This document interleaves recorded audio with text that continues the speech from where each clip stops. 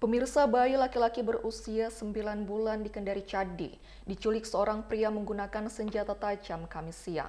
Bayi itu diculik dengan cara dirampas di gendongan ayahnya.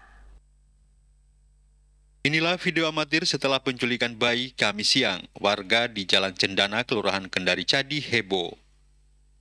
Ibu bayi menangis mengetahui buah hatinya Muhammad Aksa Al-Ramadhani berusia 9 bulan diculik seorang pria. Dalam situasi kalut, sang ibu bersama suaminya Muhammad Ali Al-Maidi 53 tahun berboncengan menggunakan motor menuju Polsek Kendari untuk melapor. Di hadapan polisi, Ali Al-Maidi menjelaskan, saat menggendong bayinya, seorang pria menenteng parang menghampiri mereka. Setelah itu, pria tersebut merampas bayinya. Ali Al-Maidi sempat merampas kembali bayinya, namun pelaku mengarahkan parangnya ke lehernya. Setelah itu, pelaku kabur membawa bayi menggunakan sepeda motor menangis terus.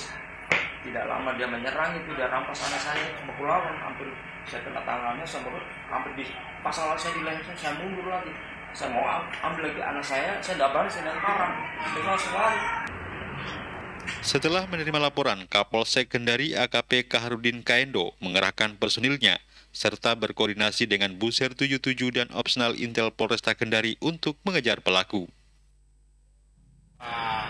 anak tersebut atau bayi tersebut uh, sempat melakukan perlawanan, tetapi pelaku ini uh, mengayungkan parangnya sehingga orang tua korban mundur. Polisi sudah mengambil keterangan sejumlah saksi di lapangan untuk mengungkap identitas pelaku penculikan. Dari Kendari, Febrono Tameng, iNews memberitakan.